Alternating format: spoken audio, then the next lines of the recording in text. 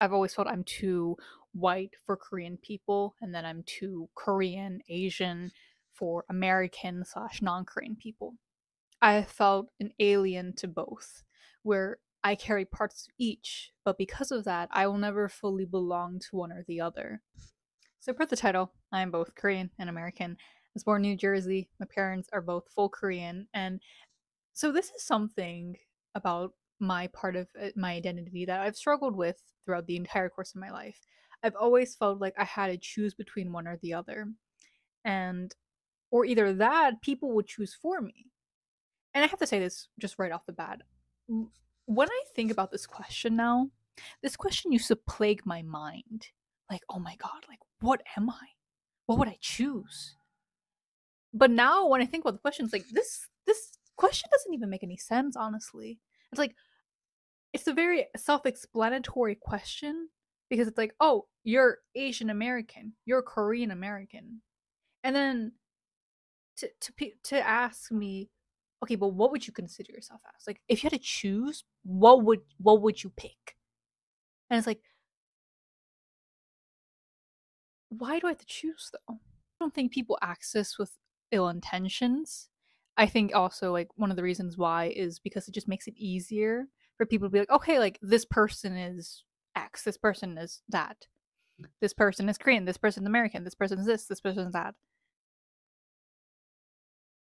It makes it easier to categorize people, and for better for worse, like it is what it is, but like, you know, like. Hmm. So I was born and raised in New Jersey, and I went to an all white private school. And I didn't experience severe bullying uh, when I was younger. I did definitely get made fun of, and I definitely had people make, had people make me cry because they were making fun of me because of my race, because of who I was, all that jazz. But not severe bullying. There'd be instances where I definitely diminished and lessened my Korean side of myself when I went to school.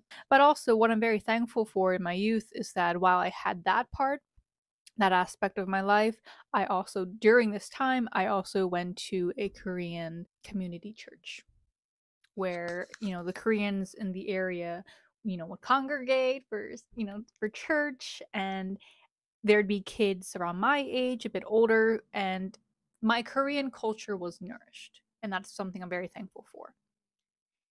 Yet at school, it was a completely different story. It's like one part of me that the Korean part of my identity thrived. It's like, oh yeah, this this is where I am. This is this is my zone.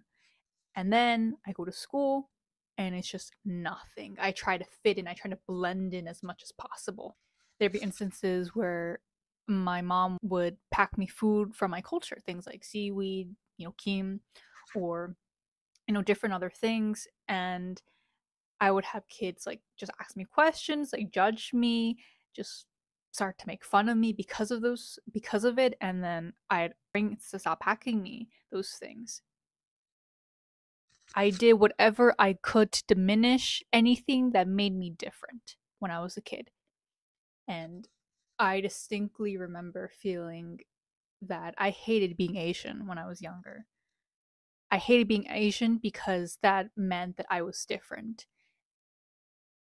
And I have felt, I've always felt that I never belonged. Not just with the school part, but just in general. I have always felt I never fully belonged to either being Korean or American. I've always felt I'm too white for Korean people, and then I'm too Korean, Asian for American slash non Korean people. I felt an alien to both, where I carry parts of each, but because of that, I will never fully belong to one or the other. And I think, like, especially no matter whatever you are, especially if you're mixed, when you are half of something, you are half and half of something. It seems, it has always seemed like we have to choose between one or the other or even that people choose for you who you are. And i've had people on both sides do this like young old family friends random strangers do this to me. You know i've literally had korean people like as we're talking like i'll i'll try to be speaking to them in korean and they speak to me back in english. And these were not just like one time things.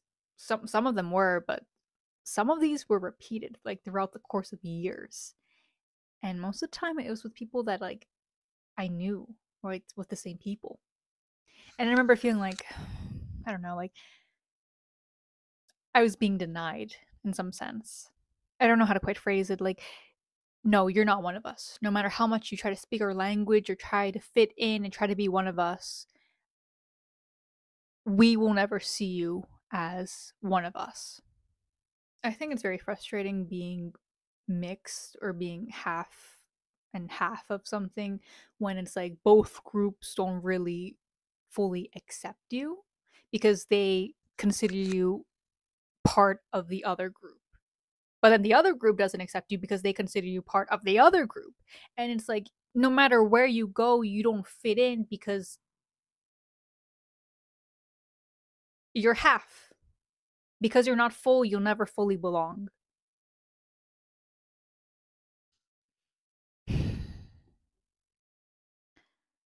Now, so there's a mix of things that go that are going on with like my circle of identity and like now I'm I'm very thankful I'm in a place in my life where genuinely I don't really care about this question. This this question doesn't plague my thoughts as a, anymore. And it's like now I know the answer. I don't have to choose. But I think there's a diff there's definitely some variables going on into like why this impacted me so much during my youth and throughout so much of my life. It's like one, I was young, I was impressionable, and to hear people constantly telling you left and right, you know, what are you? What do you consider yourself as? And truly, before people ask me these questions, I never, I never stopped to ask myself this before. I was like, oh, like I didn't have to choose. It was such an arbitrary question. Like every single time someone has asked me this question, I genuinely was just taken aback because I never thought of this before.